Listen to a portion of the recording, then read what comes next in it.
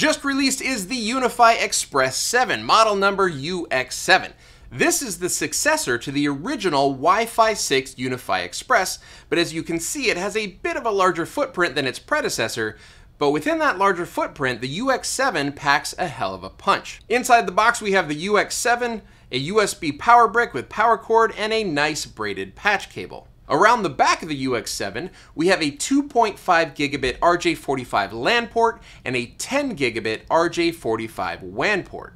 Now in addition to that, the wireless technology has been updated to 2x2 Wi-Fi 7. Installation of the UX7 was as simple and straightforward as any of the other UniFi gateways, and I was able to update it to UniFi OS 4.1.11 and UniFi Network 9.0.108 without issue. Clicking into the control plane, the only option that we have as far as UniFi applications is UniFi Network. So just like the original UniFi Express, this can't run any of the other UniFi apps such as Protect, Access, or Talk. The UX7 is a UniFi Network controller only. As of the recording of this video, I don't yet know the MSRP or how many unified devices the UX7 can handle, but by the time you're seeing this, all of that info should be published in the UniFi store.